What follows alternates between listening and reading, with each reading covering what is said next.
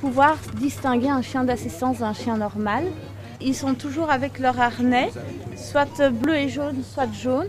Muni de son gilet fluo, Ned n'est pas un chien comme les autres. En tant qu'animal d'assistance, il a le droit d'accès à tous les lieux ouverts au public. Un message que Catherine tente de faire passer auprès des commerçants. J'en ai ras-le-bol en un an et demi de toujours devoir argumenter, de me faire régulièrement refuser, alors que c'est déjà pas facile de se déplacer. Et alors, euh, si en plus on met d'autres barrières, c'est compliqué. Moi, c'est un outil, j'en ai besoin de mon chien. Je ne sais pas prendre ce qui est trop bas pour moi ou ce que je fais tomber par terre. Et donc, mon chien, il est là pour faire cela. Bien connu pour les non ou malvoyants, ces chiens accompagnent aussi des personnes à mobilité réduite, atteintes d'autisme, d'épilepsie ou de diabète.